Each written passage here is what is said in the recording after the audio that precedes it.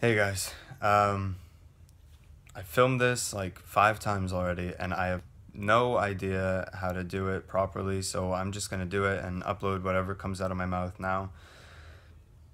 Basically, yeah, there's no vlog this week um, because this morning um, my grandmother passed away. She passed away this morning and I only heard about it uh, like an hour ago. Um, my mom called me and uh, she told me uh, about the passing and my heart sank right away. Um, she had been she'd been sick for a while so it wasn't it didn't come as a complete shock to me but you know how these things are. I'm sorry to be you know giving this update to you because i always aim for the vlogs to be happy and exciting and showcasing the good parts of my week, but honestly, that's not the case right now. It's not fitting. For me, I feel like disgusting posting something of me joking around, laughing, having a good time with friends. Um, it's just not right. And I have that footage, but I'm not going to post it. Not today. But I don't want to just make this video saying that uh, she passed away I want to talk a bit about her.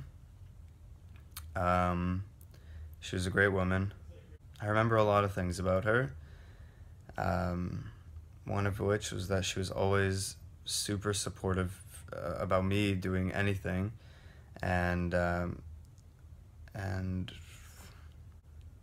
it's tough. You know, it's so weird when you think about a person and they you have all these memories with them and then they're just gone and you, you don't know what to do with the memories honestly. I'm going to keep them with me forever but uh, you know you think about this person that was so lively and and that you had a good time with and and then they just they're just not there anymore. Um, I guess that's my message is, uh, you know, for those of you who still have grandparents that are alive or any family member that you don't talk to very often, call them, give them a call, tell them you love them, tell them that you care, and uh, just show them that you're there also. Um, the funeral, I believe, is um, either Saturday or Sunday and my mom is going now. She's on the plane on the way there. Yeah, I mean, that's, I, I have to just end it there.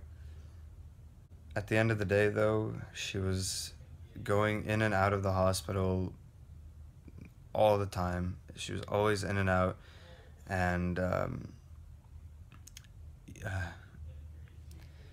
honestly, how much can you suffer for? I don't know how to end this, so I'm just gonna end it. Um, but thank you for watching. I hope you got something out of this. Alright. Take it easy, boys.